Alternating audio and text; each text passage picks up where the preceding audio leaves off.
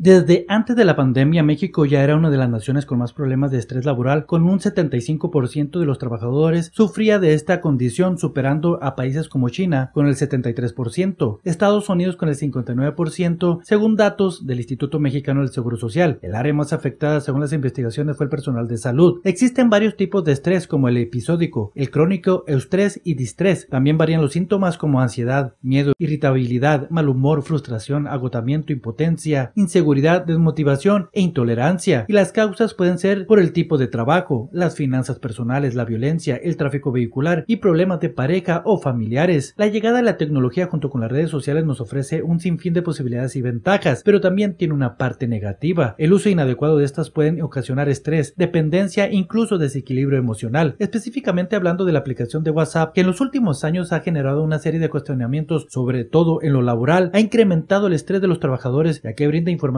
interactiva y útil, pero además puede potenciar los deseos de control de algunas personas de manera desbordante. Nada más del jefe, sino también de parte del empleado en estos grupos de WhatsApp, a horas que no son, ¿no? Es por eso que pues también eh, parte de, de, de, las leyes y todo ya se está empezando a regular esto, ¿no? El Trends in Consumer Mobility Report del Banco de América destaca que el 70% de los usuarios del móvil duerme con el dispositivo a menos de un metro de distancia y según árbitro en Edison Richard, el 90% de los usuarios tiene un smartphone siempre o la mayoría del tiempo al alcance de la mano. Lejos de, de ser una herramienta de trabajo, se empezó a convertir en un factor de ansiedad, de estrés, inclusive ya a un punto de decir me siento acosado, o sea, estoy en mi hora de comida, estoy en mi hora de descanso. Los expertos recomiendan poner límites y reglas para el uso adecuado tanto del WhatsApp como de las redes sociales y aprender a utilizar de manera adecuada estas herramientas, ya que nadie ha capacitado a las personas a darle un buen funcionamiento al nuevo mundo tecnológico.